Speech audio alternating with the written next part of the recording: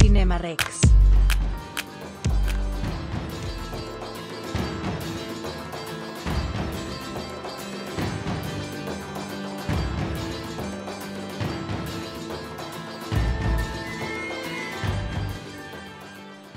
Bienvenidos a Cinema Rex. Eh, en esta ocasión tenemos nuevamente a una invitada súper especial, a Ale Lomelí. Eh, bienvenida al programa, ¿cómo estás? Hola Rafa, pues yo muy feliz de estar con ustedes de nuevo y aparte pues nos espera un programa la verdad muy, muy interesante.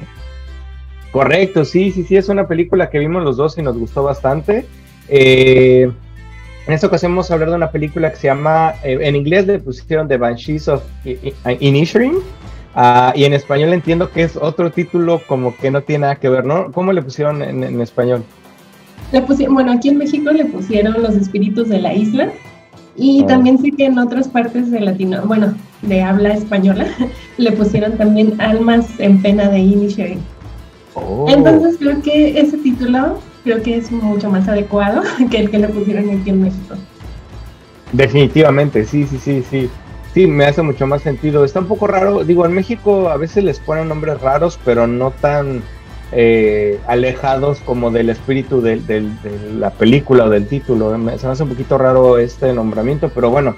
Entonces, en cines en México la encuentran como Los Espíritus de la Isla. Eh, está en HBO Max, eh, al menos en Estados Unidos. y bueno, lo que nos gustó mucho la película. A mí lo que me llamó mucho la atención eh, ya en los últimos días es que eh, fue nominada a nueve Óscares, lo cual es un poco sorprendente, dado que no es una película, no es una producción grande, ni tiene a los actores que están de super moda ahorita, eh, ni es un director súper, súper reconocido en Hollywood. O sea, me llama mucho la atención que una película que podría pensarse como pequeña o o de no muy grande alcance y la verdad es que sí es una película un poco simple, digámoslo, eh, poniéndolo en términos de eh, como, como contra otras películas que están compitiendo contra los Oscars. Me llama mucho la atención que esté denominada a tantos. Ahorita vamos a hablar un poquito de cuáles son. Eh, y bueno, nada más como modo de introducción, el director es Martin McDonough. es también el escritor de la película. ahorita hablamos un poquito del director también si quiere sale. Eh, o bueno, si quieres comentar algo de él, eh, algún trabajo, algo que te llame la atención. Bueno, yo desde que conocí a Martin McDonagh, la verdad se ha convertido en uno de mis directores favoritos. Él viene como del teatro, ¿no? También es algo a resaltar, también sus películas, por eso es que su aspecto no es de una superproducción, son más bien películas de actores y a mí me gustó mucho su película, la de Tres anuncios por un crimen, que también estuvo eh, nominada cuando fue en su momento. Y bueno, todas las películas que ha hecho me han gustado y esta, pues mucho más. Claro, sí, sí, también la de En Brujas me parece buena, pero Tres Anuncios por un Crimen, qué buena película, es que es súper, súper guion, la actuación, este, el tema que trata, cómo lo trata, eh, la verdad mi respeto, se me hace un muy buen director eh, y, sí, quizá no, no hace superhéroes o dramas políticos o cosas muy intensas, hablando como de lo normal de Hollywood o como el estándar de Hollywood, pero sí hace cosas definitivamente muy interesantes, películas que llaman la atención o que uno recuerda o tiene en mente siempre, y no es esta la excepción.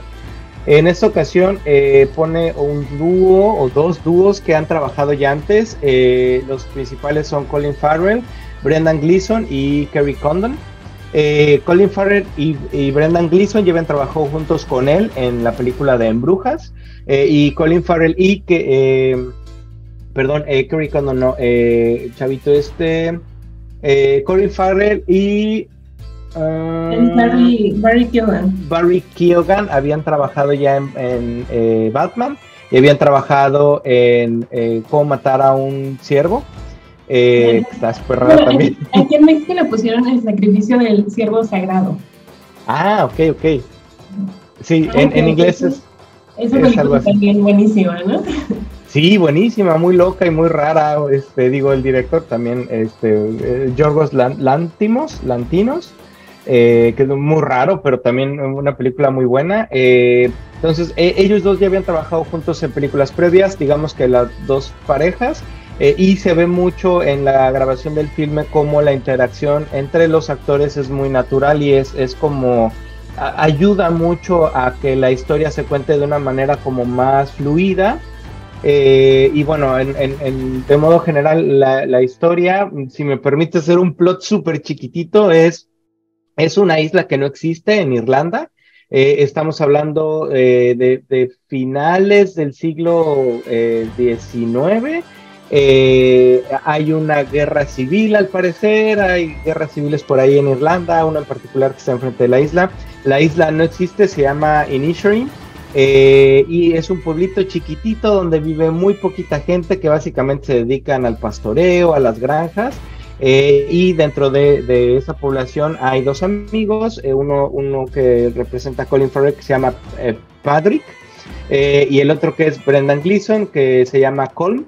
Eh, que son como los mejores amigos de toda la vida y algo pasa que eh, esa amistad por alguna razón se ve afectada eh, y de eso va la película, ¿no? O sea, es un plot muy chiquitito porque realmente tiene mucho jugo la película a partir de eso que puede parecer pequeño y a partir de ahí no sales si nos gustas comentar cómo ves que se desenvuelve y cómo, cómo va la historia contada. Sí, bueno, tiene como varios aspectos. Es que la película, como tú bien lo comentas, es, se podría decir que su premisa es muy sencilla. Pero creo que ahí es precisamente donde empiezan muchos significados, ¿no? Que sea una isla, bueno, la isla de entrada para mí es como un personaje más, ¿no?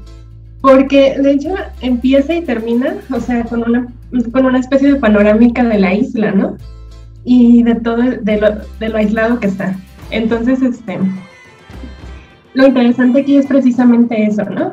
De cómo esta amistad entre dos amigos termina nada más por porque sí, ¿no? O sea, no hay como una razón tal cual para que igual estamos como el personaje de Colin Farrell, ¿no? Como Patrick, de que él no sabe por qué este terminó o porque Colm decidió terminar con esa amistad, ¿no? Entonces ahí hay como varios subtextos. Creo que eh, este Martin McDonald, al meterlo, también te, bueno, al meter la idea de la guerra, también te está como hablando de la inutilidad este, de los conflictos, ¿no? No sé este, si quieres comentar como algo de, de eso, del aspecto de la guerra también, que creo que es un poco también como el reflejo más exteriorizado de, del conflicto, ¿no? Sí, claro, sí. A mí me parece que es, eh, es un parangón tal cual, eh, eh, una equivalencia de lo que está pasando entre la amistad de estos dos hombres y la guerra, que de hecho es una representación literal paralela de por, por qué suceden las guerras, cómo se inician y qué es lo que ocasionan, hasta dónde pueden llegar, reflejada en la amistad de dos hombres.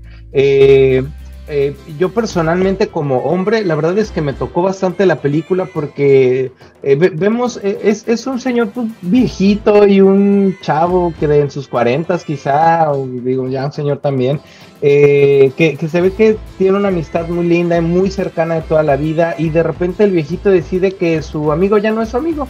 Y no le da ninguna razón, la verdad es que no le dice, incluso eh, eh, intenta sacarle la razón, ¿no? Te dije algo, te ofendí, eh, te, te, miré mal, te, te, quité algo, algo te dijeron de mí, explícame por qué ya no quieres ser mi amigo. Y el, el, el viejito sencillamente dice, ya no quiero, no quiero, de repente me pareciste aburrido y, yo siento que me queda muy poca vida y ya no quiero ser tu amigo pero realmente ni siquiera hay un conflicto como que se peleen eh, de inicio, digamos, como para hacer esta separación. Eh, y, digamos que al, menos, eh, sin ser sexista y sin ser tendencioso, pero una amistad masculina sí puede llegar así, yo creo, a ser así. Como a los hombres no se nos permite a veces tanto expresar los sentimientos o el cariño hacia otro hombre, por ejemplo, o no es bien visto, no es tan común, entonces, cuando tienes un amigo muy cercano, muy querido, de verdad, a pesar de que no lo estés abrazando, agarrando la mano como lo hacen las mujeres con sus amigas, sí hay un cariño muy fuerte y muy intenso de un hombre por otro hombre en, a un nivel de amistad. Entonces, en el momento en el que sientes que se rompe esa amistad, sí, sí golpea a la persona de manera fuerte en, sus sentimientos, ¿no? Entonces, eh, creo que es como esta revolución de, de, emociones que le causa a las dos personas la separación de la amistad por ninguna razón que a la vez está reflejando el tema de la guerra que está pasando del otro lado de la isla. Ellos le llaman como la, tierra, ¿no? La tierra firme. Ellos dicen, es que en tierra firme hay una guerra que se está eh, peleando en estos momentos, no sabemos quién va a ganar. En algún momento dicen que gana uno, en algún momento dicen que gana el otro bando, pero en realidad se están refiriendo también a ellos, se están refiriendo a cómo estos dos entes, estas dos personas, eh, están discutiendo a partir de la nada y van a empezar una guerra literalmente eh, con consecuencias, pues ya, ya, ya veremos cómo, ¿no? Pero, pero sí, me parece tal cual que es un símil la guerra o que es un personaje, la guerra, que está representado tanto en la guerra que está del otro lado de la isla como en estos dos personajes. No sé qué opinas. Sí, exactamente. Y es que aparte hay varios momentos en la película en que los propios personajes te están diciendo, es que no sé por qué eh, están peleándose, ¿no? Y aparte dicen, somos nosotros mismos. Entonces, este, hay varios ahí subtextos precisamente de que hablan de cómo nacen los conflictos, ¿no? Veces no hay una razón, sino que nada más un día amaneces y dices, pues ya no quiero ser tu amigo, o ya este, no me parece algo, y, pero no te lo dicen, sino nada más este, toman la decisión y siguen con su vida, ¿no? Y precisamente el personaje de Colin Farrell es, es el que está buscando como esa respuesta, ¿no? Por qué estos comportamientos, por qué de un momento a otro ya te parecía aburrido, ¿no? Y hay como varias cosas que hacen pues muy grande esta película, ¿no? Este, y precisamente hay como en la actuación pues de entrada de Colin Farrell y de Norman Gleason, que es buenísima, las dos. Sí, maestros, sí. Sí, sí, Es, es una gran mancuerna que se descubrió precisamente en Brujas que fue su primera película juntos. Sí. Y ahora retomándola, ¿no? Y creo que ya esa amistad ya traspasó la, la, la pantalla, porque en el discurso de Colin Farrell cuando recogió su Globo de Oro, este fue muy emotivo, ¿no? Con las palabras que le dijo a Norman Gleason. Y este, ah, no, yo sí quiero ver otra película con ellos, por ejemplo, ¿no? perdón, yo no vi los globos de oro, ¿no? Si nos puedes comentar un poquito más o menos qué dijo. Yo, este, más, también no, no los vi, ya como que ahorita estoy como en un desánimo de esos premios. Ah, oh, sí, Tanto los globos de oro, Oscar. Los Oscar, claro, todo, hasta los Grammys, sí. Exacto, y nada más este, estuve viendo los videos ya después de cuando fue la premiación de Colin Farrell, que por, por ejemplo yo este, sí quería que él fuera más reconocido, ¿no? También ya eh, tiene otras películas en las que también hace muy buenas actuaciones y como que eh, Hollywood lo castigaba mucho, ¿no? No lo quiere, en verdad, mucho. A mí me parece un buen actor, la verdad, bueno, y, ha salido buenas películas, ha hecho sus papeles bien. Y sí. y sí. o sea, la verdad es que ya se merece premios porque le ha dado a la industria bastante y sí me parece, como tú dices, castigado. Sí, sí, sí, ha estado muy castigado y siempre en Hollywood seguían mucho por las tendencias, ¿no? Y eh, bueno, creo que para nadie es un secreto eso, ¿no? Y ahorita que tienen también varios actores, por ejemplo, en los Globos de Oro, que este, eh, Brendan Fraser fue un poco incómodo, ¿no? Porque también él señaló cómo había sido acosado por uno de los eh, directivos de, de, ahí de la organización. Entonces, pues, por eso, ¿no? y es, bueno, vi nada más ese ese video de cuando recibió su Globo de Oro y pues prácticamente le declaró su amor a Norman Gleason, ¿no? Le dijo que pues mucho, que era un gran amigo y que le había gustado mucho trabajar con él. Y bueno, también agradeció a, a, la, a la burrita Jenny. ¡Oh, la burrita! sí. Qué, buen personaje. Sí. Sí, pues bueno, a mí este me parece mucho que la película tiene muy bien puestas sus ideas, que así como es muy sencilla, también tiene mucho, eh, sus, sus, subtextos hablan mucho por ella, ¿no? De que sí te está hablando de este conflicto, de la inutilidad del conflicto, pero también de alguien que está buscando trascender a través del arte, ¿no?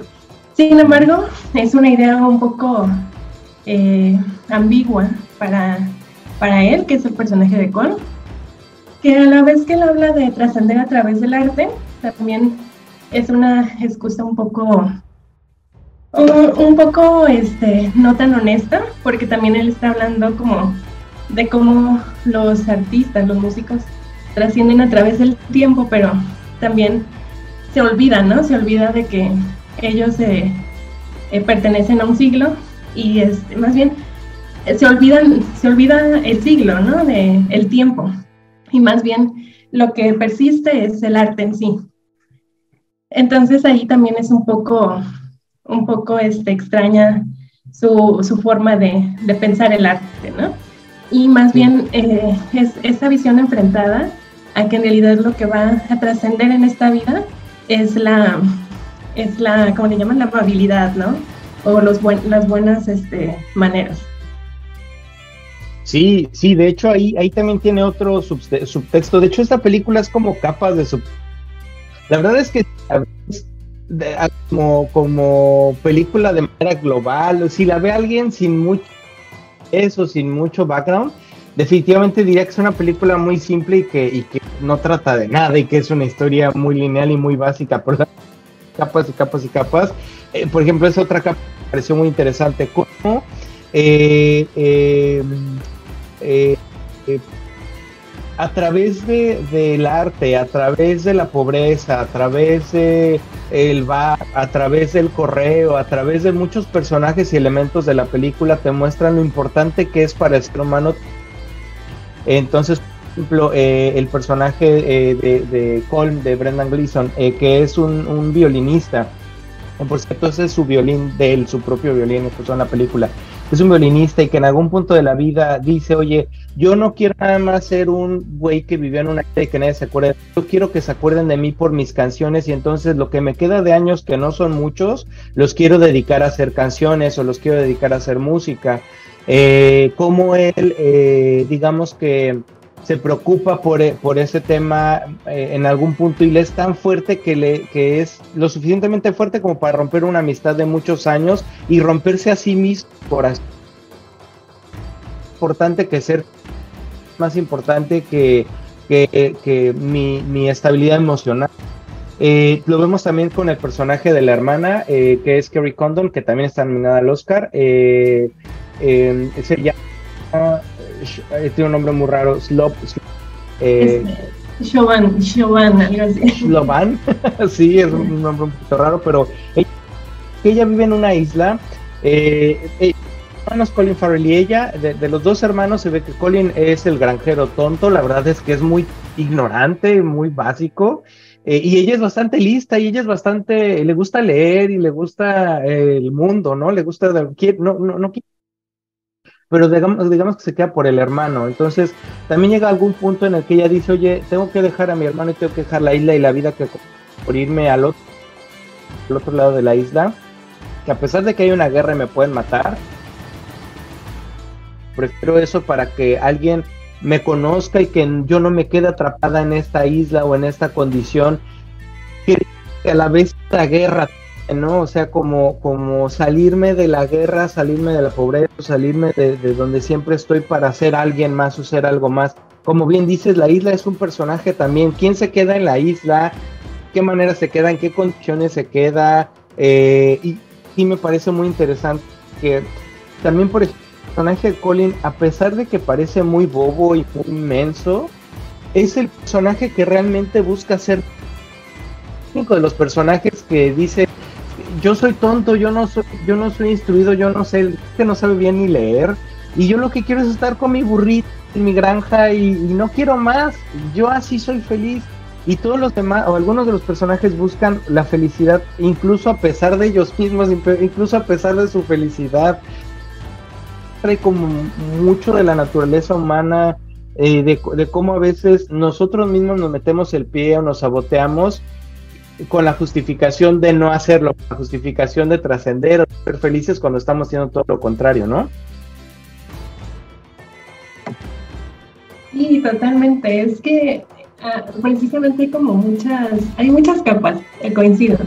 Y sí, el papel de, de Chauvin es como esta conciencia, ¿no? De que es una isla que está prácticamente, pues sí, condenada a las pasiones más, este, pues están, pues, eh, por ejemplo, la, la chismosa de, de, la isla, que es la señora de la, eh, donde reciben las cartas y todo, ¿no? Están, pues, estos como, estas pasiones encontradas de, del orgullo, de Korn, y también o la locura, por ejemplo, que está representada en el personaje de Barry Keoghan pero también es una locura muy, muy, muy sensata, ¿no? O sea, como en esta isla donde todos tienen como estos problemas tan, tan terribles y, y tan, eh, tantas pasiones así, eh, creo que esa locura es lo único que, que, lo salva a él, ¿no? También el que lo hace más cuerdo, hasta se podría decir, de la isla, ¿no? Sí.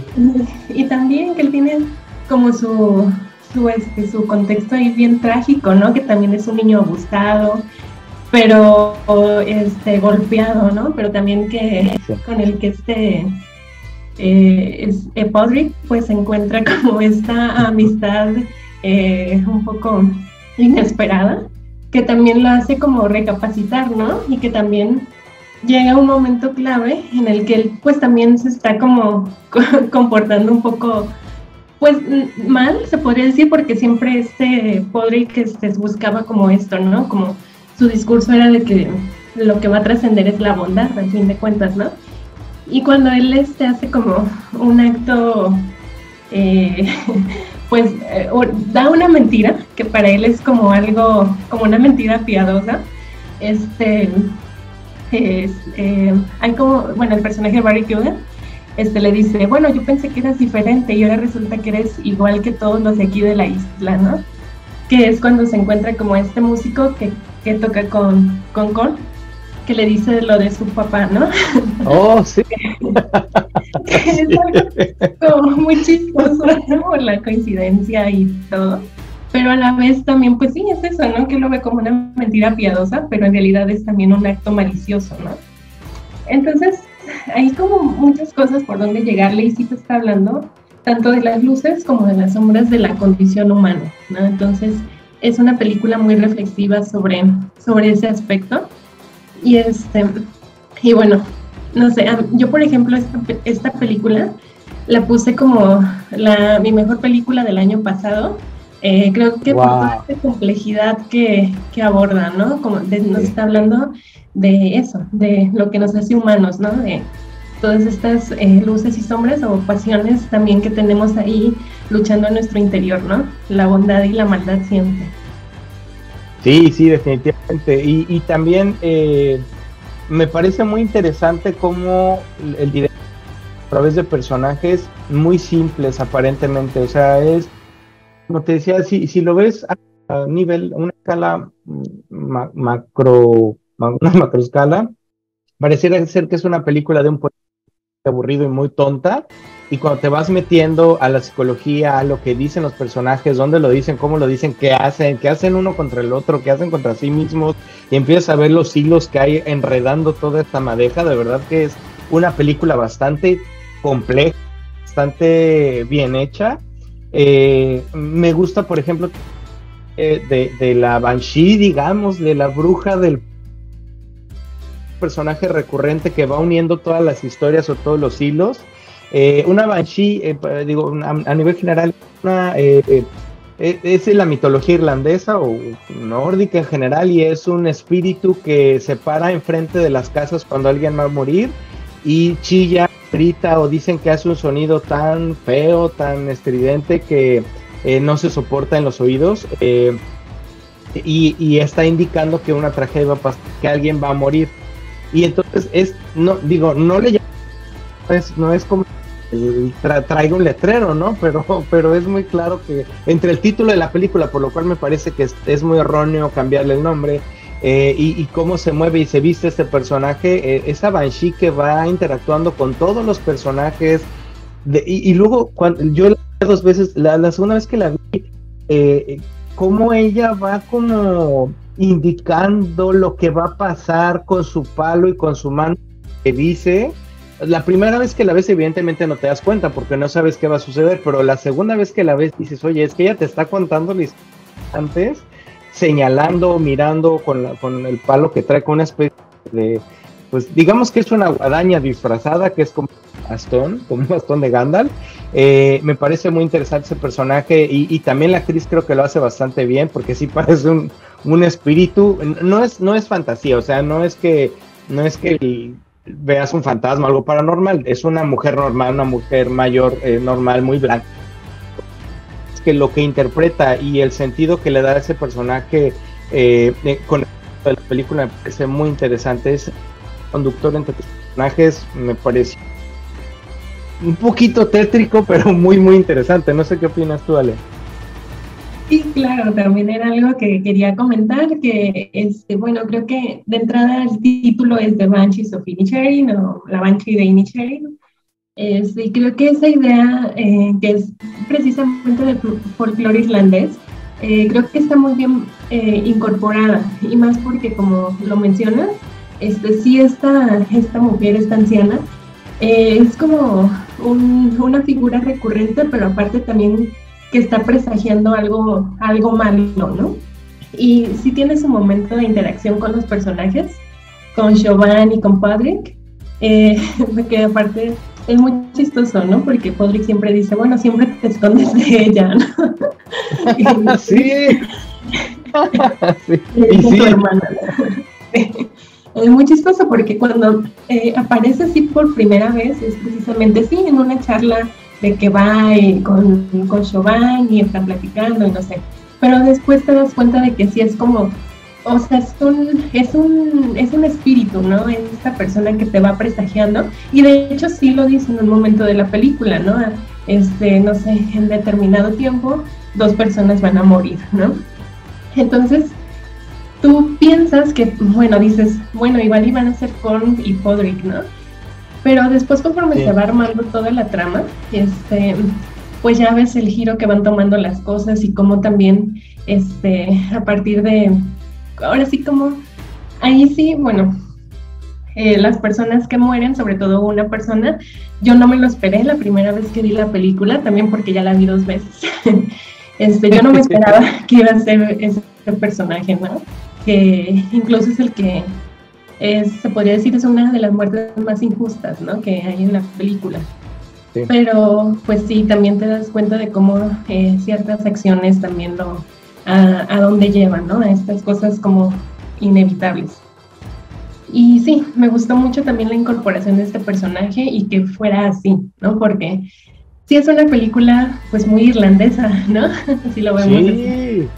Es muy, muy irlandesa y este personaje, claro, este, forma parte de su folclore y está muy bien este, desarrollado. La verdad me, me gustó mucho esa idea. Y pensando en esta traducción del título que tiene en otros países de Almas en Pena, de Inisherin, creo que está muy bien justificado y también te está hablando pues precisamente de eso, ¿no? De cómo estas personas son, pues sí, son almas en pena vivas, ¿no?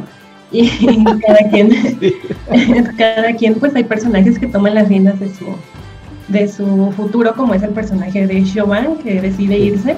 Este, y sí, porque pues ahí no, no van a tener nada, ¿no? Siempre va a ser así, como ella le, le dice en la carta, ¿no? Ahí siempre hay este odios y, o sea, ¿qué le espera a ella, no? Sino más que esperar este, a que llegue su muerte, prácticamente, ¿no?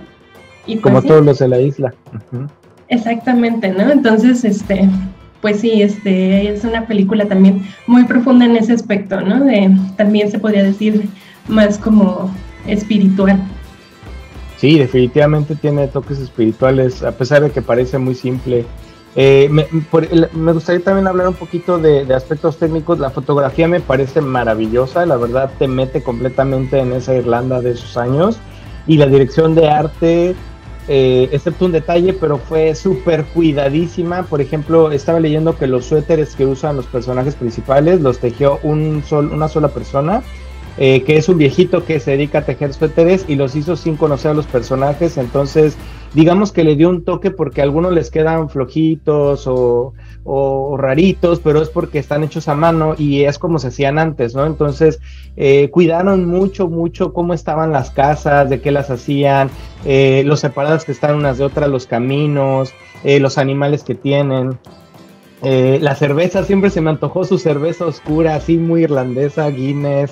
Eh, digo, no era Guinness, no, pero una cervecita oscura en un pub, cómo eran los pubs, qué hacían en los pubs, eh, cantaban, pero pues se reunía la gente del pueblo ahí, incluida las mujeres, a, a, estar, a, pasar la vida, porque no había más que hacer, ¿no? Eh, como, como a través de, todo este arte y toda esta parte visual, cómo el director te transmite también otro personaje y otras capas de la película.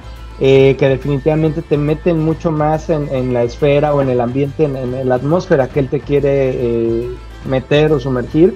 Eh, me, parece que sí se merece por ahí también premios o, nominaciones. y no, no, sé si tuviste algún detalle de, de la parte de dirección de arte, fotografía y demás. A mí me gustó mucho, sí, la fotografía, el, el diseño de producción, los vestuarios. Es que yo estaba viendo la película y yo decía, es que yo sí me creo que son, son personajes así de una isla, o sea, granjeros, ¿no? Este Colin Sí, o sea, creo que está muy bien. Y también por eso me eso refería también que es una película muy irlandesa porque está, ¿no? Los pops, la cerveza. O sea, es que todo, ¿no? y luego este, también los, este, los bueno, los, los eh, sí, escenarios se podría decir que son pues las casas de los personajes.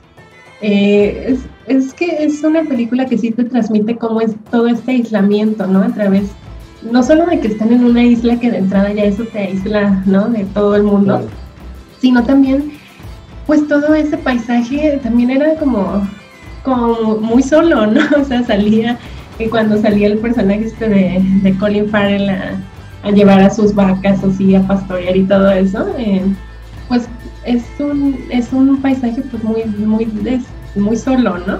Desolado. Y, y prácticamente, ¿no? O sea, como le había dicho que pues no quería verlo ni nada, pues de todas formas a donde él saliera se lo encontraba, ¿no? sí.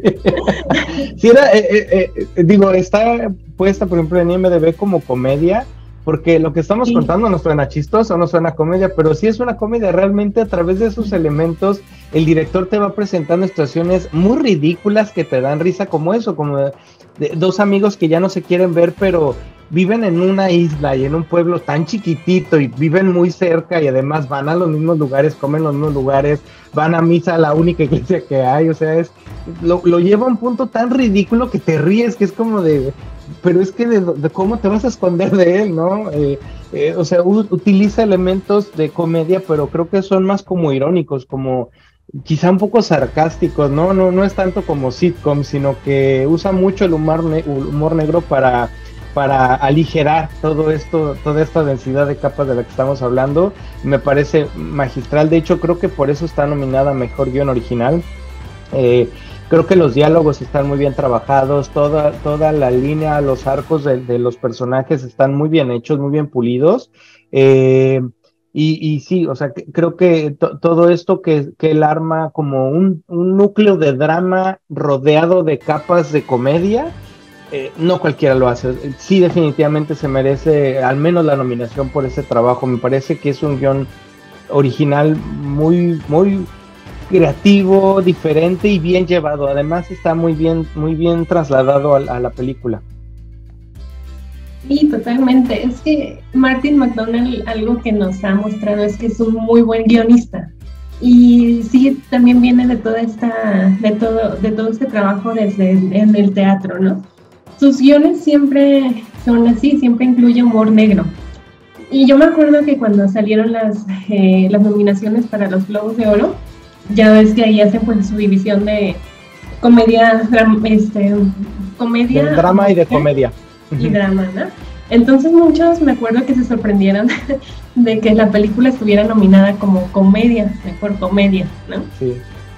Y yo dije, bueno, sí, es que en realidad sí, es una, es una comedia que tiene situaciones muy difíciles, muy trágicas, muy duras, pero en realidad es, es una comedia negra, que precisamente a través de, yo, y yo creo que sí es un muy buen género para tratar precisamente como todas estas, em, como esta, este conflicto, ¿no? Que es muy absurdo y ahí te das cuenta cómo son situaciones que sí, que son muy cómicas también, ¿no?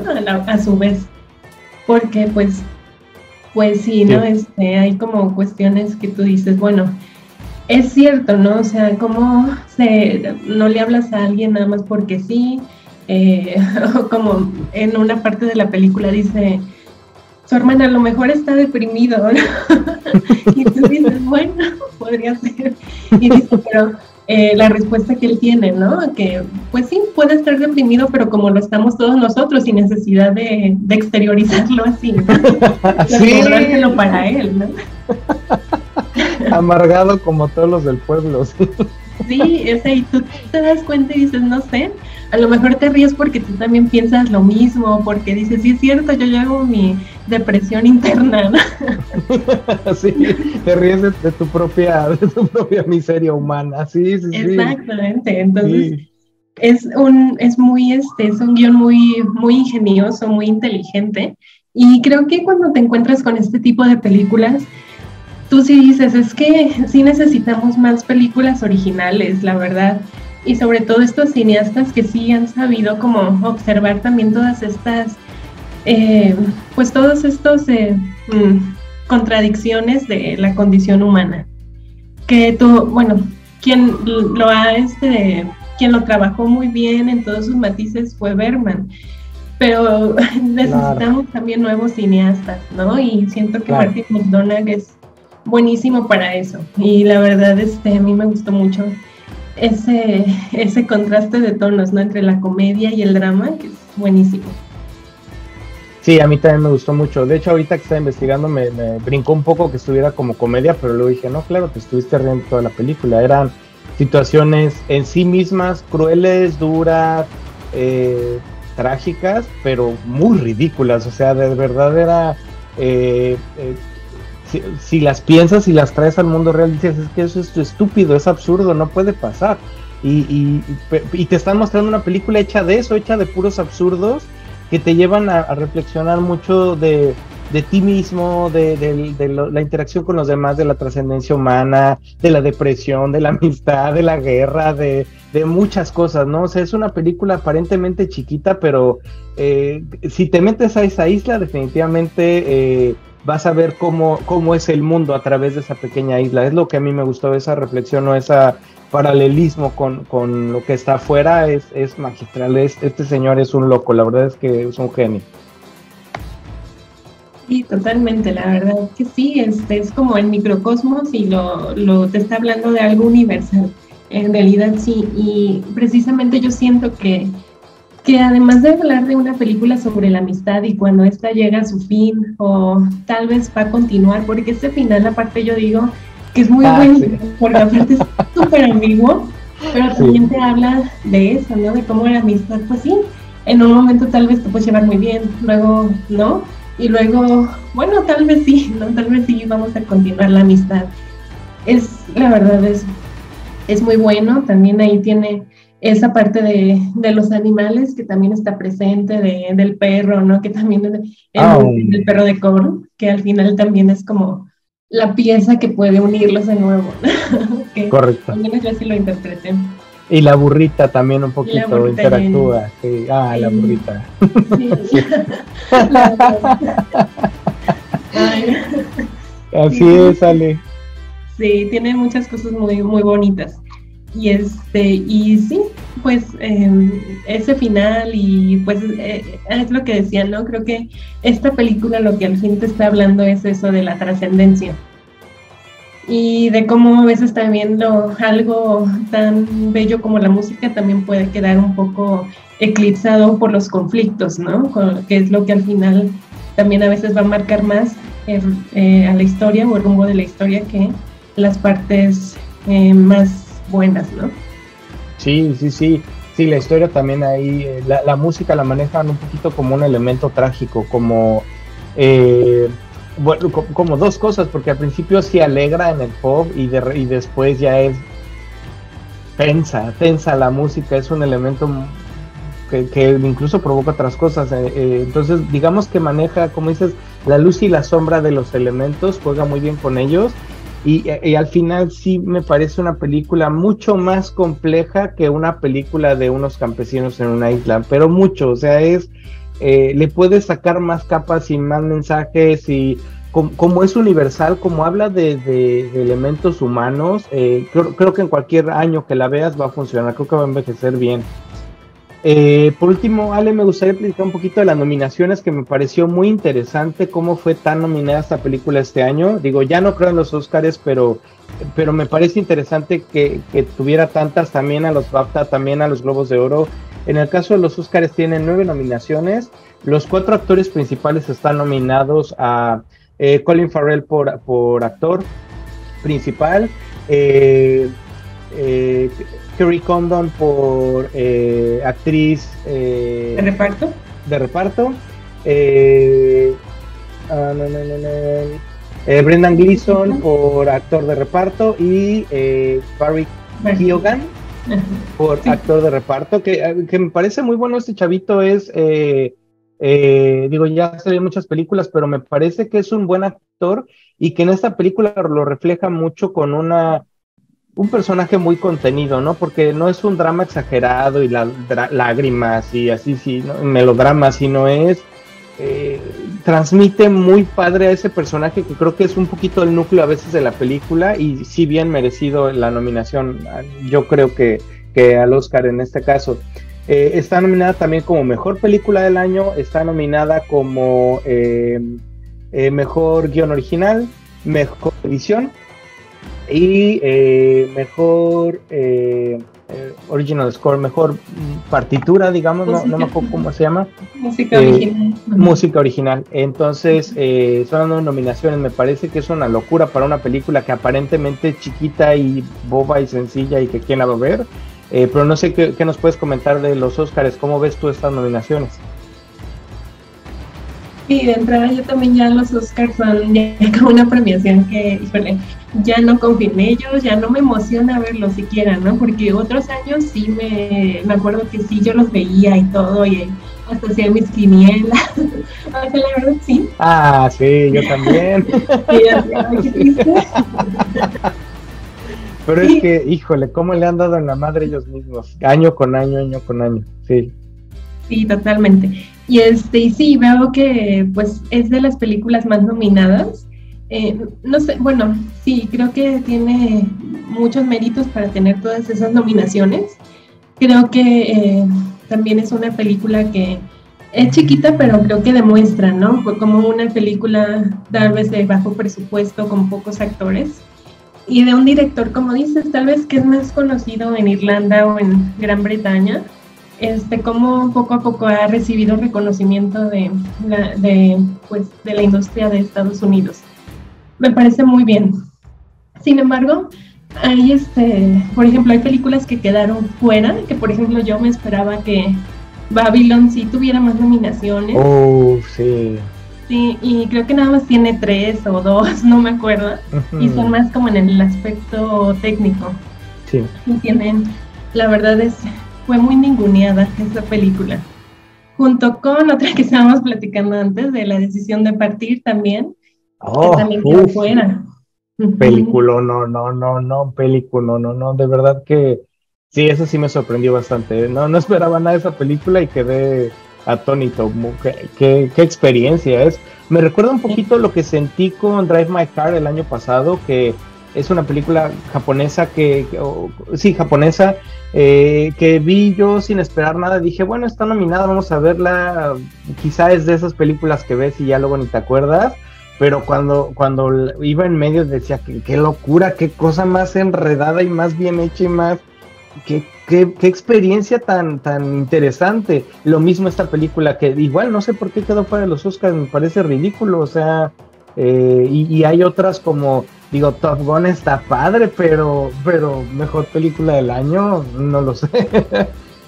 Sí, es que volvemos, ¿no? Siempre año con año hay, hay injusticias y es como lo mencionaba en hace un momento, este, también es mucho tendencia, ¿no? Este, los Oscars sí están premiando la, tendencia.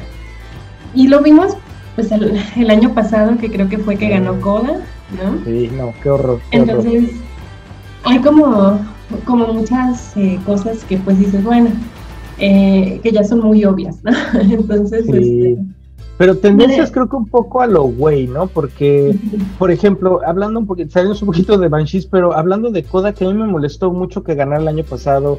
Eh, qué padre que se premie una película que habla de sordos y la inclusión y las minorías y todo eso, pero se quedan en eso. O sea, la verdad es que ni pretenden que los sordos tengan una mejor vida, ni, ni hacerlos más visibles, ni nada. Nada más es entrar a. Como representación en el cine, ¿no? Por ejemplo. Exacto. Que yo no he visto que contraten de nuevo al actor, por ejemplo, ¿no? Ni lo harán, no les interesa. Es más, tan no les interesa que en los Óscares no hay eh, eh, transmisión con lenguaje de señas. O sea, así de ridículo. Y el mismo año que Coda estuvo nominada, Drive My Car estaba nominada, que también trata un tema de inclusión de sordos y ni la pelaron, o sea, fue...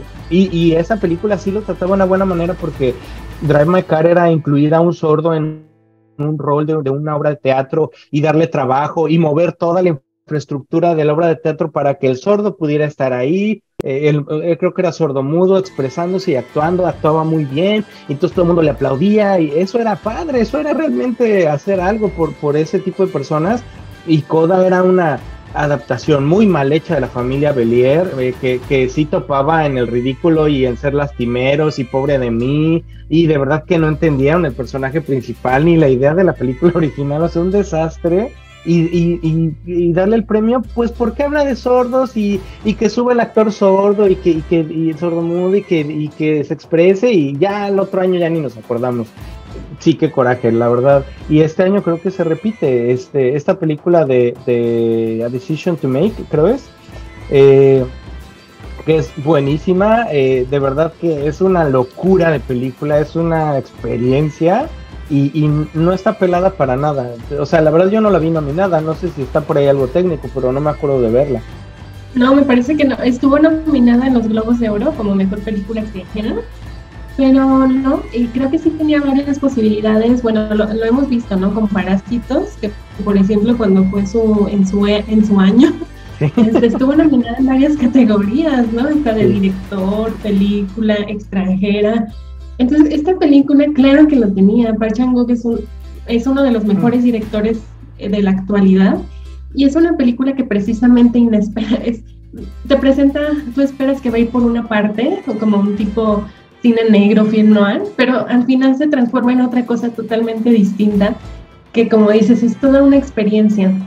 Y es una película que sí merecía más, eh, que merecía nominación de la academia, pero pasó realmente eh, ninguneada por ellos, ¿no? Entonces creo que sí hicieron muy mal. Me da por otra parte mucho gusto que Banshees of Inisherin sí tenga estas nominaciones, que sea de las más nominada. Veamos cuántas, con cuántas estatuillas se va a ir, ¿no? Yo, de entrada, eh, Martin McDonald creo que eh, es uno de los mejores guionistas. Eh, creo que lo ganó ya por tres anuncios por un crimen, que también ese fue otro guion maravilloso. Entonces este, esperemos que también sea reconocido esta vez. Y pues sí, como película, yo sí, para mí fue, de la, fue la mejor película del año pasado. Pero pues a, ver, esperemos, ¿no? Con que, con que sale la academia en esta ocasión. ¿Tú, ¿Tú, prefieres The Banshees encima de Everything Everywhere All at Once? Sí. Dinos, dinos, compártelo. ¿Nos puedes comentar por qué? Me parece interesante y sí, sí me gustaría saber por qué. Porque es la favorita de todo el mundo ahorita. Sí, claro. A mí, este, todo, aquí le pusieron en México todo en todas partes al mismo tiempo. Se me hizo una película muy buena. De hecho, yo cuando la vi, yo sí dije, wow, sí, como todos decían, este sí es un multiverso, ¿no? Andrew Garfield, ¿qué? sí. sí, sí, sí, Doctor Strange, ¿qué? Me agrada también esta parte de que sea una película súper independiente. O sea, si Banshees of Inisherin es, es, independiente, esta es mucho más. Mm, estos directores también son unos directores súper extraños, los Daniels, ¿no? que también son loquísimos. A mí la película me gusta, creo que tiene muchos méritos. También te está hablando ahí como de una relación muy compleja entre madre e hija. Y también como en todas estas cosas como en lo que uno sacrifica, ¿no? ¿Y qué pasaría si yo hubiera seguido otro destino y me hubiera convertido tal vez en una estrella de cine, ¿no? Como en una de sus vidas de que incluso es la propia Michelle Yeoh, ¿no? Entonces, este, a mí me gusta, se me hace una película que sí te saca como de lo convencional. Sin embargo, no sé, yo siento que es más preferencia también personal. A mí me gustan más las películas del tipo de Banshees of Inisherin porque sí te está hablando de lo que somos, de lo que nos hace humanos. Y bien, la otra sí tiene también esos elementos, pero creo que esta película lo hace de una forma mucho más compleja. Creo que en todo, todo en todas partes al mismo tiempo, sí obviamente lo que más te impacta es precisamente todo este multiverso que van construyendo los Daniels. Y a mí siento que funciona mucho mejor The Banshees of Inisherin porque si te hablan de cuestiones más complejas y de entrada eso de la trascendencia, ¿no? Entonces para mí, sí, The Banshees of Inisherin es mi película favorita y la película que yo sí esperaría que ganara, ¿no? La categoría de, de mejor película. Ok, bueno, uno quiere, pero la realidad, la realidad, ¿cuál crees que gane? O sea, digo, yo, yo tengo mi favorita, pero no creo que gane. No sé, en tu caso, ¿cuál crees tú que, que va a ganar de las? ¿Son ocho nominadas? ¿Nueve? A ver, es que déjame checar cuáles están nominadas. Ah, bueno, en inglés es All Quiet on the Western Front. Creo que ah, es. ok, sí. Sin novedad en ah, el frente. Sin novedad en el frente. Eh, Avatar eh, The Banshees of Inisherin, Elvis, uh, Everything Everywhere All at Once, The Fablemans, Tab, Top Gun, ah, Triangle of Sadness, esa no la he visto, y Woman Talking tampoco la he visto. Ah, ok. Este, yo siento, bueno, es que los Globos de Oro la que ganó fue Banshees of Inisherin y oh. los Fablemans. una por comedia y una por drama una por comedia y la Fabelmans por drama. Yo creo que a lo mejor si, si está así todo el panorama, puede ser que sea ah, todo en todas partes al mismo tiempo. ¿Sí crees? Mm, es que, está medio difícil porque también podría ser podría ser los Fabelmans aunque por ahí hay una teoría de que dice que si una película gana creo, guion, guion original o guion adaptado, también va a ganar mejor película, ¿no? No sé, no sé, muchas veces no ha sido así. ¿eh? Sí, muchas. Yo creo que más, el común es que no. Sí, sí, sí. Sí, lo más probable es que no. Mm, no sé, por ejemplo, en el caso de, de, actriz, yo siento que va a ganar Kate Blanchett, pero también muchos piensan que va a ser Michelle Yeoh. Que para mí personalmente, personalmente yo pienso que Kate Blanchett debe ganar todos los premios. Pero, pero bueno, porque está increíble. O sea, la película de Kate Blanchett ella está cada vez se supera en sus personajes. Sí, es, es traza. Yo, yo le daría un premio por hacer el papel del Chang Pinocho. O sea, de verdad que. O sea, imagínate una actriz tan a que participa en los proyectos que se le da la gana este, decir, decirle a yo quiero salir en tu película y que diga él, pues nada más tengo el chango, dame el chango, y hizo el chango, o sea, y lo hizo muy bien, de verdad que sí, Kate Blanchett y entar, wow, qué loquera de actuación esta señora, qué barbaridad, qué maestría. Eh, que, aparte, pero, que aparte estaba leyendo que sí tuvo que, este, que aprender, o sea, dirigir una orquesta y hablar alemán, o sea, eso, te hablan pues, del nivel, ¿no? De esta actriz que es de las mejores de la actualidad, ¿no? Pero bueno, sí, no sé, en los Globos de Oro sí ganó, ¿verdad? Este, y ha ganado en varios, eh, en varias este, entregas de premios, pero pues veamos, ¿no? Para mí sí tendría que ganar ella, por encima de Michelle Yeoh. Quizá por, por yo, yo en comentario, quizá por mérito, digámoslo, sí, o sea, sí me parece Blanchet, pero Michelle creo que ya se lo merece, o sea, como tanto le ha dado a la industria y tanto ha trabajado y tanto le ha chingado y no se ha ganado un Oscar, yo se lo daría por eso. Y creo que muchas veces ha pasado así, ¿no? Que, eh, o sea, al Pacino se lo dan por, por perfume de mujer, perfume, eh, o sea, una película que no es buena, pero más bien, bueno, pues ya se lo merece y hay que hacerlo, ¿no? Yo creo que algo así va a pasar con Michelle, aunque sí por mérito, o sea, en, en Kate Blanchett por TAR, está Ana de Armas por Blog hacia ahí. Este, Andrea Risenborough por todo Leslie, no la he visto. Eh, Michelle Williams por The Fablemans. Híjole, y Michelle Yeoh por Everything Everywhere. Yo definitivamente se lo daría a Kate Blanchett por mérito, pero creo que lo va a ganar Michelle, pero por la carrera que tiene, que definitivamente lo merece. Parece buena. No es que el personaje para mí de Everything sea malo, sino que el nivel, el nivel actoral que se requirió para hacer Tar es mayor que el nivel actoral que se requirió para hacer Everything. Ah, y de Michelle Williams, sí me gustaría comentar nada más que lo único que no me gustó fue ella, eh, no ella como actriz, sino ah, la verdad es que a mí Steven Spielberg no me parece director de todos los tiempos y, el super guau besemos las patas. Amo Parque Jurásico, tengo dinosaurios por todos lados en mi casa, pero a mí no me parece el super director. Y en esta ocasión creo que en ese personaje porque todo el tiempo me pareció una vieja loca. O sea, desde que empieza la película es, es una vieja loca y acaba en vieja más loca y cada vez más loca y más loca y nunca ves a una mamá.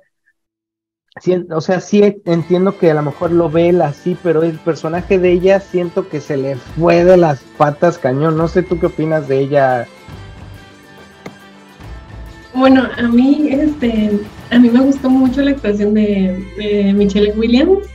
E, es que es un personaje muy complejo. O sea, yo también al principio dije, es que Inés es una mamá como muy diferente.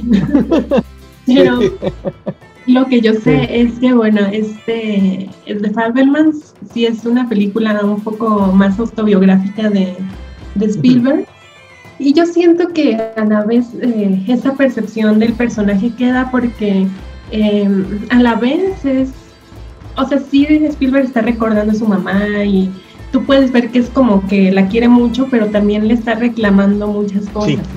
Sí, Entonces yo siento que también te está mostrando como esa parte, no idealizada, sino más bien como tan compleja que fue, ¿no? Con como, esposa y como madre, ¿no? Entonces, creo que esa percepción es lo que queda. Sí es un personaje difícil de, empatizar, la verdad, que a mí también me costó trabajo, pero este, pero sí, a mí me, se me hace que es este, que la actuación de ella sí es buena, pero no sé, a mí, por ejemplo, me gustó mucho. Y siento que también a Michelle Williams es, le han bueno, le deben el Oscar desde hace mucho tiempo, ¿no? Sí, sí. Sí, no, como actriz me parece muy buena. El personaje es lo que no me gustó. Creo que está dibujado con la tripa de Spielberg. O sea, que tan no tiene trabajada su mamá emocional que le salió así el dibujo. Le salió un dibujo mal hecho. A diferencia del papá, por ejemplo, que es muy claro los sentimientos que tiene hacia el papá y cómo él percibe que se comportaba el papá y que era el papá. Se ve que la mamá nunca le entendió, no sé si sigue viva, yo me imagino que no, pero nunca le entendió, nunca cachó bien qué quería ella o cómo era ella y le salió ese dibujo, le salió una vieja loca. Pero en algún punto de la película que Michelle hace un buen trabajo aterrizando ese dibujo mal hecho eh, y si es una gran actriz. O sea, le dieron un papel, a mi parecer le dieron un papel, transformó en una excelente actuación, pero, pero no le daría el Oscar arriba de querido, arriba de Michelle. Sí, totalmente. No, o sea, la verdad que sí hay actuaciones muy buenas. Este, incluso, bueno, Ana de Armas que leí hace dos días, hace un par de días, que, este, que Almodóvar dijo que, que él le daría el, el Oscar, ¿no? A Ana de Armas. Este, no sé, a mí Blonde, la verdad, se me hace una película muy decepcionante, y más viniendo de un director como Andrew Dominic, que, que tiene una de las películas que más me gustan a mí, que es El asesinato de Jesse James, por el cover de Robert Ford, el titulazo. Sí. Amén. que tiene un, es buenísimo, es muy buen director, pero no, se habló, la verdad, no, me decepcionó mucho. Sin embargo, la actuación de Ana de Armas sí es muy buena, pero aún así, no, también yo no le daría el Oscar a ella. No, no nada que ver. Kate Blanchett. Sí. Aquí, por ejemplo, pondría a, la, a la, protagonista de este, A Decision to Make, la coreana, china, coreana, este, eh, que, me parece que es un excelente papel, ¿no? Pero bueno, pues así son los Oscars. Eh, eh, digo, a ver, si por en cuestión de, actores, eh, Farrell Banshees, está Austin Butler por Ed, Brendan Fraser por The Whale, Cal por After Sun, Bill Knight eh, ¿Crees que gane Colin Farrell por, por Banshees? bueno, yo esperaría que sí.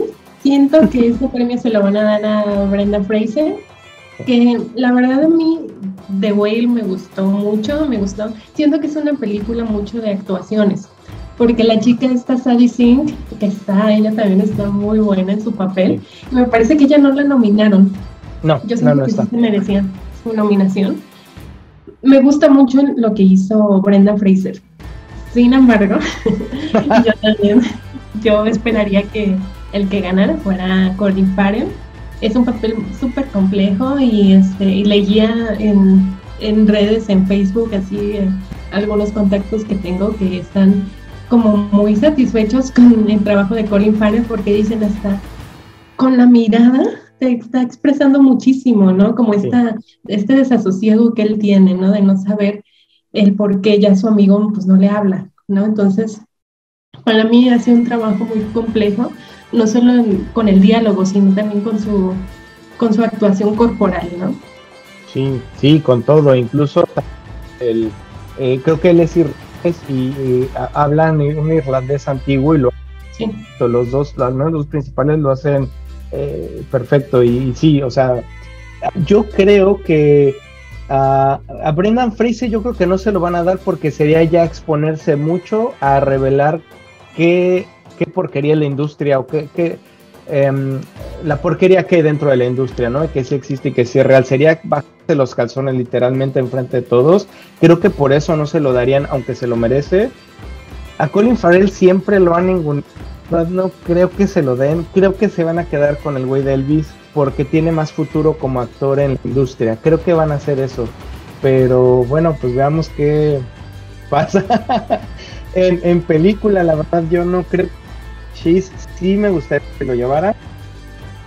Eh, pero yo creo que se van a quedar con alguna más gringa tipo o Elvis o algo así. Quizá Everything, quizá la gane, lo veo un poco difícil. Ah, creo que la gran ventaja de Everything sobre Banshees es que Everything las capas las entienden más fácil. O sea, de verdad que no tienes que meterle tanto poco para meterte a todas las capas que tiene, que tiene muchas, pero eh, las, las puedes hacer sin mucho esfuerzo. Y hay que pensarle más. Entonces, como es más compleja, no creo que la gane por, por lo bien hecha que está.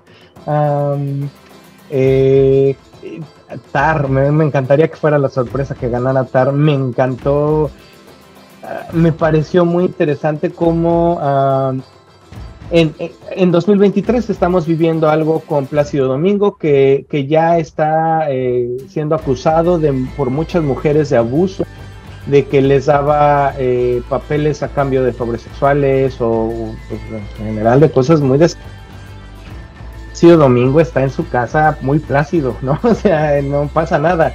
Y Tar nos refleja la historia de una de, directora de orquesta lesbiana, ah, de algún no tan explícito, pero igual la intercambia este, sexuales por, eh, meter a, mujeres en que tengan ciertos, roles y demás, eh, y cómo las, la casando y cómo la van eh, deshaciendo realmente, ¿no? Es como cómo se deshace la carrera de esta mujer, y me parece muy interesante cómo si lo metes al mundo real, mundo de las mujeres, al mundo y del mundo de otro, eh, pero por lo mismo creo que va a ganar porque también es muy revelador, como, como lo es el caso de Brendan Fraser, pero me gustaría que esa fuera la sorpresa. No sé, no sé tú qué, digo, ¿te gustaría que ganara Banshees? ¿Sientes que va a ganar Everything? Sí, bueno, sí, es que claro, ¿no? Lo que a veces lo que para uno es lo mejor del año no es lo, no, es lo mejor para la academia, ¿no? Y sí, o sea, yo quisiera que ganara Banshees of, Finishing. También me gustó mucho Tar, como dices, ojalá fuera la sorpresa o quizás sea la película que dé la sorpresa. Y aparte es un director muy bueno, Todd Field también, ¿verdad? Este, que tardó mucho tiempo para, desde su última película a esta, pasaron muchos, muchos años. Y sí, exactamente, en parte eh, sí es una, una película que está hablando también de los abusos dentro de la industria, ¿no? Igual puede ser en cualquier trabajo, pero aquí te está hablando de los eh, abusos que hay, los abusos de poder, ¿no? Que hay dentro de la industria, no sé, musical, ¿no? Y sí, son temas súper actuales, aparte porque también entra mucho las redes sociales, precisamente eso, las, eh, los favores sexuales a cambio de algún trabajo, alguna representación. Y sí, a mí me gusta mucho esa. Eh, Elvis, por ejemplo, también es una película de las que más me gustó el año pasado. Eh, creo que el papel que hace Austin Butler fue también así monumental, ¿no? Meterse en, en Elvis, ¿no? Este, conseguir su voz, o sea, sí tiene muchos méritos Muchísimo. y por ejemplo, yo siento que Baz Luhrmann también ya le deben su nominación de director, creo que no lo nominaron, creo que sí tiene también, tuvo mucho, este, también ya, ya la merecía, Pero, pero sí. o sea, creo que también hay, también hay por ahí una teoría. Lo que pasa es que como Elvis estrenó como a mediados del año pasado, también este, se podría decir estrenó un poco retirado lo que es la temporada de premios en Estados Unidos. Entonces puede ser que también como esta campaña no haya sido tan fuerte que bueno, que incluso pues el Austin Butler sí este, tuvo el Globo de Oro de Mejor Actor, ¿no? Pero no sé, siento que más allá de actuación, por ejemplo, edición, tienes una película muy buena, la, edición la, define mucho, ¿no? Creo que por ahí también podría ser. Fotografía también, pero sí, creo que más bien es el año como de todo, todo en todas partes al mismo tiempo, o Banshees of Finishing. Creo que es, son las dos películas, ¿no? Que se van a estar ahí eh, em, compitiendo con los premios. Veamos cuál gana entonces. Vamos a hacer nuestra quiniela y la, ponemos para ver quién gana. va, va, va. que vale. Pues muchísimas gracias. ¿Algún comentario final sobre la digo sobre todo, pero general que quieras comentar? No, pues este, de entrada, pues creo que eh, de las películas que están nominadas hay varias buenas que creo que sí se merecen estar ahí en, entre las nominadas y también merecen ser vistas si no las han visto o verlas de nuevo, ¿no? Eh, ahí la verdad son varias y también como dijimos ya, bueno, como dije anteriormente, hubo muchas que no fueron nominadas, que también eh, merecen una oportunidad también de que vayan a verlas. Y este, pues nada, o sea, Banshees of Finishing creo que es una gran película y como dices, creo que van a pasar los años y si uno la vuelve a ver te va a estar eh, provocando las mismas sensaciones, ¿no? Entonces, eh, es, una, es una gran película, muy buena para ver también este, en cuanto a las actuaciones y pues eso, ¿no? Este, hay que, que, disfrutar este tipo de películas y conocer más si no han visto también las otras películas de Martin McDonald, eh, verlas, ¿no? Este tiene muy buenas, es un muy buen director y pues sí, a ver qué más nos trae en el futuro. Sí, súper buen director. Sí, yo, yo recomiendo mucho la película de Banshees. Eh, eh, es una grata sorpresa. O sea, si, si alguien la quiere ver un domingo y no pensar y echar su bote palomitas funciona perfectamente. Si alguien la quiere ver un sábado bien descansadito y buscarle cosas y capas y los personajes funciona. Es una película que es muy redonda y, muy trabajada, muy bien hecha. Creo que eh, está nominada y que, y esté tan reconocida. Eh, y eh, digo, después seguramente en HBO la, la, van a subir o en alguna plataforma para que la pueda ver la gente. Eh, creo que esta película, como todas, se disfruta más en el cine, pero si la ven en plataforma, igual creo que funciona bien, no, no, que la tienes que ver en el cine, sí. Eh, y pues bueno, eh, qué, pasa o cómo le van en las premiaciones. Esperemos que bien para que se hagan más de esas películas que valen mucho la pena. Sí, así es. La verdad es que, que sí. Y es, es una película, aparte, como dices, con la que te la pasas muy bien. Igual si no quieres pensar mucho en ella ni en lo que te propone, es una película con la que sí te va a hacer pasar un muy buen rato. Sí, te vas a un poquito, sí, sí, definitivamente creo que está bien hecha. Creo que ahí es donde le gana Everything, a mi parecer, ahorita que lo estamos platicando. Eh, el único pero que yo le doy a Everything Everywhere es que se repite a sí misma muchas veces. O sea, eh, te, te, mete un concepto y luego te lo vuelve a mencionar y te lo vuelve a mencionar y otra vez y otra vez y de verdad que para creo que dura dos horas y media. Y yo para las dos horas ya estaba cansado y decía ya entendí está muy bien hecho está muy padre las actuaciones las piedras con ojos está muy bonita pero ya ya déjame en paz ya suéltame ya agarré tu idea y, y es repetido sí, es redundante. Es redundante ajá. Y Banshees no Puedes ver como una película de un pueblito aburrido, la puedes ver así y te va a echar un par de cartas. Creo que ahí es donde es superior Banshees, está mejor trabajada. Sí, exacto. y creo que tiene muchos momentos muy climáticos, ¿no? Este, hay por ahí pues una amenaza que le hace con una Podrick, ¿no? De que cada vez que lo moleste pues se va a ir cortando un dedo de la mano. Y esa, esa parte, creo que también la película tiene como esos momentos, ¿no? De que nunca está, nunca se cae el ritmo, creo que al contrario, tiene todos estos momentos climáticos que sí te mantienen atento y muy metido en la, en la trama, ¿no? Entonces, creo que es eso, precisamente ahorita que ya estamos hablando un poquito más de esto, es eso, ¿no? Algo que no tiene todo en todas partes al mismo tiempo, que yo también coincido, que es muy redundante en algún momento. Sí, exactamente. Sí, pues veamos qué pasa en los premios. Quiniela, qué, qué tal nos sale, ¿no? Sí, Perfecto, Ale, pues acompañarnos nuevamente. Esperemos que, te tengamos eh, seguido, tan seguido como tú quieras. Eh, y no si nos puedes recordar tus redes sociales para que te siga la gente. Sí, sí, claro. Este, pues en Instagram estoy como Aura-Aleja y en Twitter estoy como Alejandra Aurora-Bajo. Entonces, este, por ahí nos pueden seguir, podemos seguir hablando de películas y pues yo encantada, ¿no? De regresar aquí contigo.